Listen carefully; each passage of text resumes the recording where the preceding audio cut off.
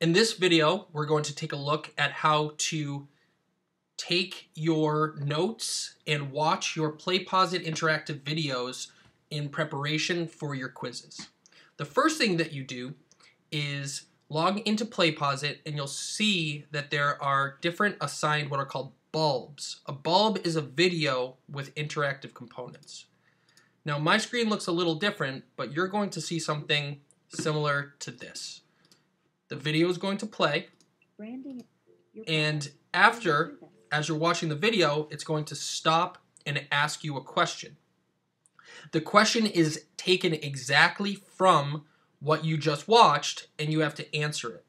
Your answers, whether right or wrong, you they will you'll be graded on if you've completed the the video or not, not on your answers in the video. So if I type this in and hit submit, branding is the correct answer.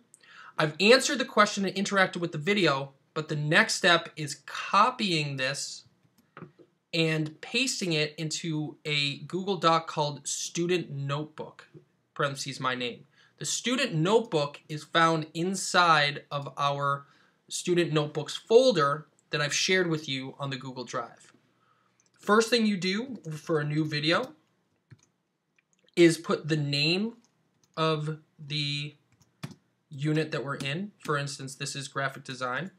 And you also put the name of the video, branding and identity in this case. Once you have that, you can make that a header and paste the sentence that was that you just had in your interactive video. Note that the answer is not there you have to put the answer, bold it, and change the color of it to the color of your choice.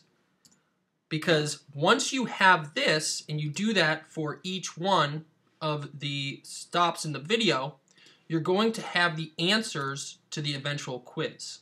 Right here, if you go to your quiz, the, these questions are going to show up verbatim on the actual quizzes in multiple choice form. So, to recap, we watch the PlayPosit video, it stops, you put the answer in, doesn't matter if you get it right or wrong, what you what you have to do is copy it, paste it into your student notebook,